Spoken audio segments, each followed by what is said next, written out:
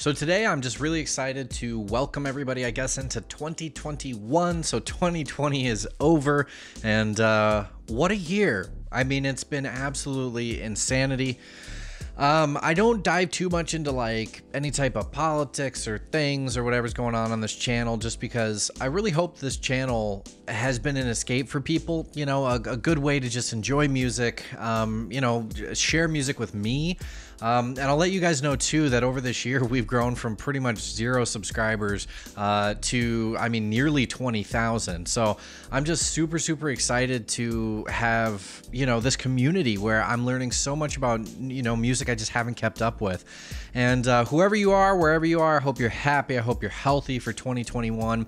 And I really wish that uh, we can all have a better year this year and just yeah, really, really just, you know, amp it up a little bit and just do a little bit better. And I hope, gosh, I just hope people are happy and healthy out there.